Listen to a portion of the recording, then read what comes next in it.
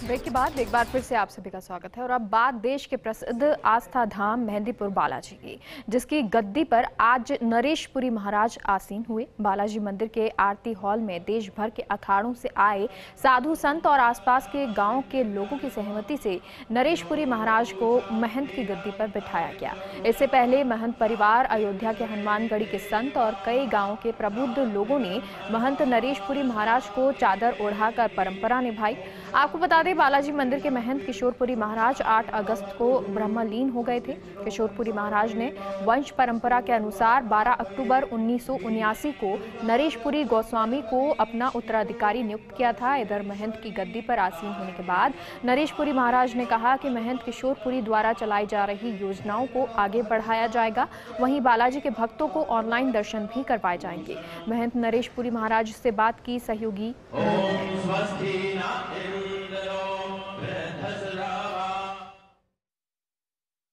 पीठ घाटा मेहंदीपुर धाम के महंत किशोरपुरी महाराज ब्रह्मलीन हो गए हैं और उनके उत्तराधिकारी महंत नरेशपुरी महाराज को आज गद्दी पर आसीन किया गया है।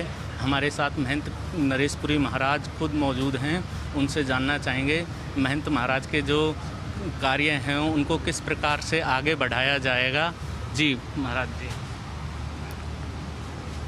महाराज किशोरपुरी जी के जो हमारे गुरु हैं, उनके जो भी कार्य, चाहे वो सामाजिक क्षेत्र के हों, या धार्मिक क्षेत्र के हों, या शिक्षा क्षेत्र के हों, उन सभी कार्यों को यथावत इसी तरीके से चलते रहेंगे, जिस तरह से चलते आए और उनको और भी अच्छी तरीके से दुरुस्त करेंगे, और उनके सपनों को साकार करेंगे।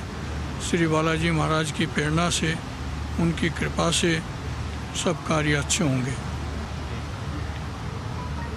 सहयोगी सुरेंद्र के साथ Monu Singh, first India news, Mehandipur, Balaji.